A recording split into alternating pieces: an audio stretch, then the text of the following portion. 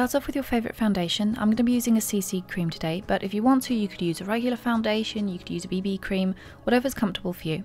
I'm going to be blending that all over my face, and don't forget to blend it out along the jawline. Once you've done that, you want to move on to a white eyeliner, and you can use whatever kind of product you want for this. You just want a white colour or an off cream colour. Once you've drawn that circle, you're going to draw some lines out from the circle, and then you're also going to outline the nose as well. Start from the corner of the nose and work your way around as if you're drawing a heart. Draw a little sharp point down the middle, and then you're going to be lining up from the edges and then draw the other circle around the eye. And again, drawing those lines out from the circle, and you want to go through the brows with this and try and fill them in at the same time if you can.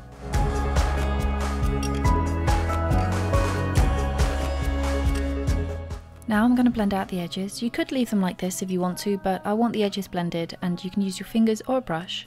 And then I'm going to go over the edges with a white powder. You could skip this step, but you're going to find that the colours are going to pop out a lot more if they've got something like a powder underneath, because I found that with this particular eyeliner, the colours tend to get a little bit muted if you layer it over.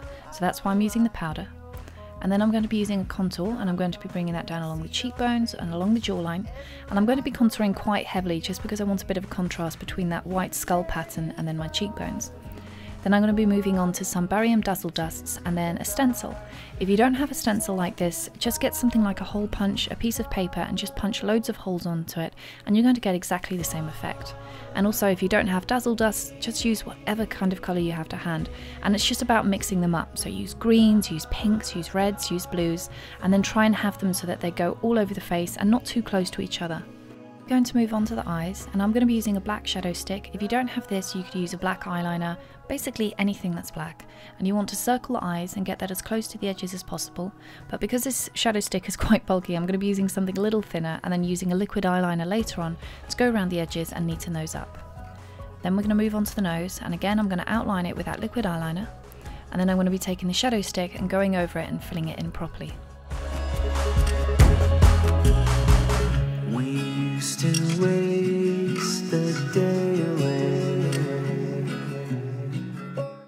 To the eyes, I'm going to take that white eyeliner and extend the white line a little bit further down my nose. I want to layer some colours on top of that black eyeshadow, so I'm going to be using a pink shade right down the centre of my eyelid and then blending that out.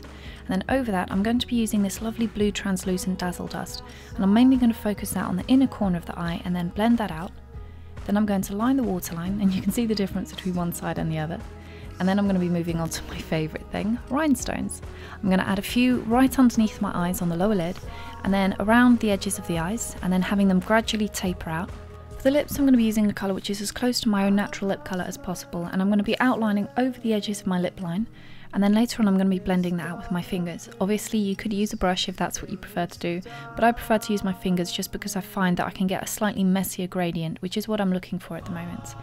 And then on the lower lip, what I'm going to be using is a colour which is slightly darker, just underneath the lip, and then in the inner corner and blend that up.